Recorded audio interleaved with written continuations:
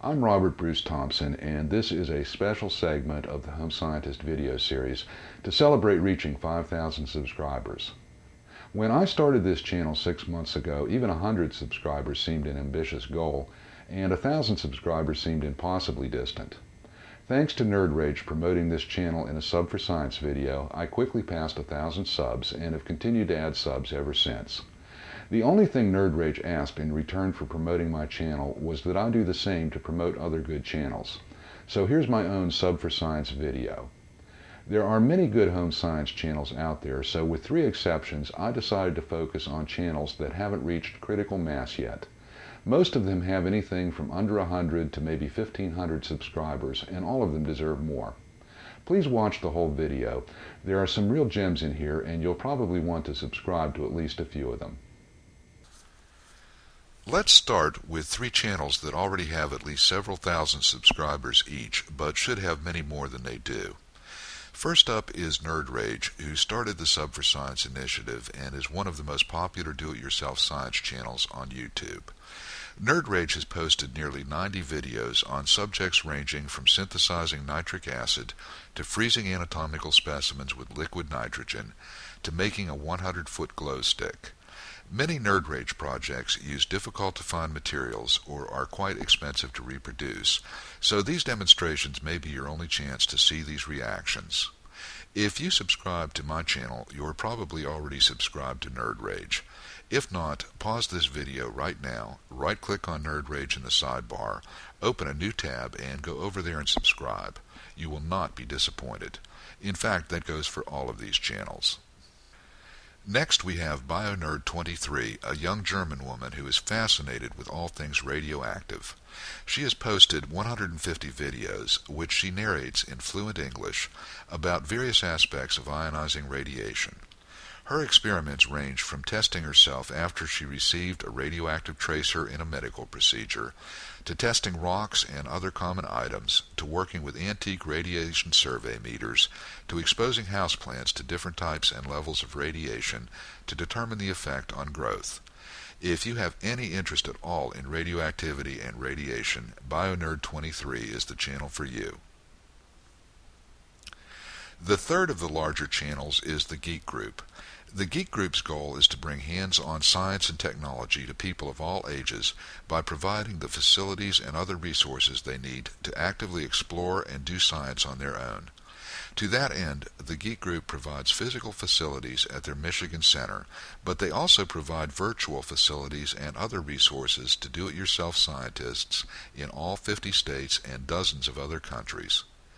They have some serious equipment and produce professional quality videos on everything from soldering basics to vaporizing items with a huge capacitor bank to doing autopsies on notebooks and other tech toys. Any home scientist or tinkerer will find lots to like here. The Geek Group does a lot for science outreach, so in addition to subscribing to their YouTube channel, you should also visit their main website, www.thegeekgroup.org, and support them by joining and donating if you can. Okay, on to some of the smaller channels. DBC 616, aka the Glad Scientists, are high school students who study chemistry independently. They focus on in-depth variations on classic experiments and make excellent use of diagrams, charts, and other visual aids. Their eclectic series of videos range from how to bend glass tubing or build a homemade stirrer to running an iodine clock reaction. Quantum Wasteland focuses on organic chemistry and the chemistry of rare metals. He features experiments you'll seldom see elsewhere, from synthesizing zirconium compounds to making chloroauric acid, to producing inks with gold and platinum, to producing oxalic acid from antifreeze. He's posted 16 videos so far and is adding videos at the rate of one or two a month. Sieve B1, and I apologize if I mispronounced the name, is run by Julia Bedell and Brad Sieve, who teach chemistry at Northern Kentucky University.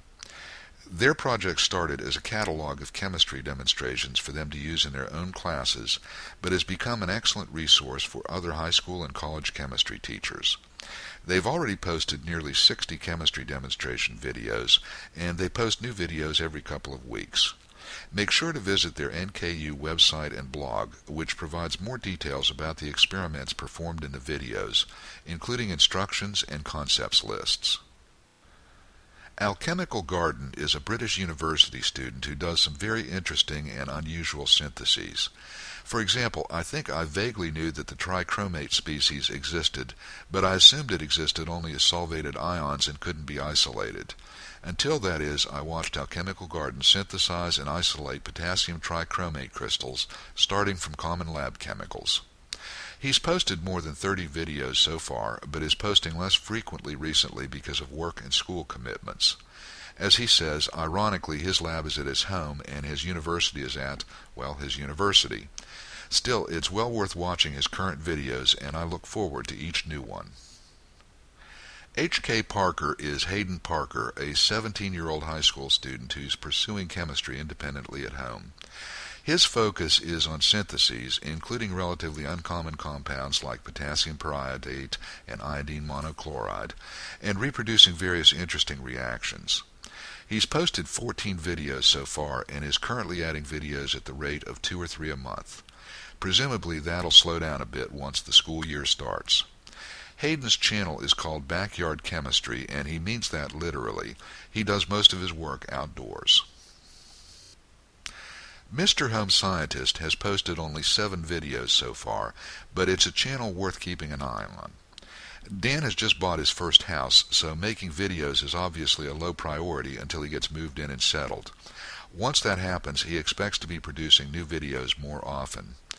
Dan is a civilian physicist for the Navy and pursues chemistry as a hobby. He got started in chemistry as a way to expand his element collection, using thermite reactions to isolate various metals. His focus has now shifted to doing unusual experiments in inorganic chemistry with the goal of encouraging others to pursue hands-on do-it-yourself chemistry. Reaction Factory is a pair of self-described chemistry nerds experimenting in Florida. They created their channel in late March of 2010 and have already posted 19 videos, including some very unusual reactions. Unfortunately, they don't narrate their videos, although they make excellent use of captioning to convey what they're doing. Ordinarily, I wouldn't recommend a channel without narration, but I made an exception for these guys because they do some really interesting stuff. They don't hesitate to work on a large scale either.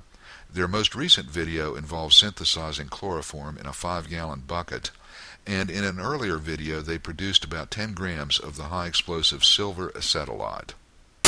Finally, we have two young German men who are both doing interesting things in their home labs.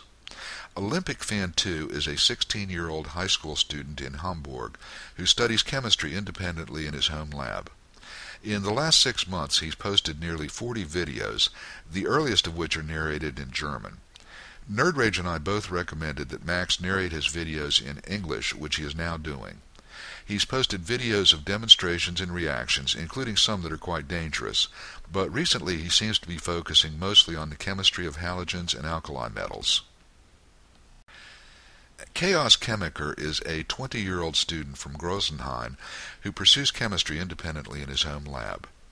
Like all of the other channels I've featured, he strives for originality rather than making Me Too videos. For example, there are videos all over YouTube about making silver mirrors, but one of his videos demonstrates how to make a copper mirror using copper 2 sulfate and hydrazine. His early videos are captioned rather than narrated, but his recent videos are narrated in English. If I promoted your channel in this video, all I ask is that you post your own Sub for Science video when you're ready. If I didn't promote your channel and you think I should in my next Sub for Science video, here are some things that will help your channel make the cut. First, I need at least half a dozen videos to judge quality. Second, regular activity, say at least one video a month. I won't promote a dead channel. Third, reasonable length and substance. Don't bother to submit a channel that has a bunch of really short, trivial videos. Fourth, originality and real science. I won't promote a channel with videos that are just Me Too copies of topics that have already been done to death. Finally, English narration. Most of my subscribers are English speakers who won't subscribe to non-English channels. So, if you think your channel is as good or better than some of the channels I've just featured, send me your best video.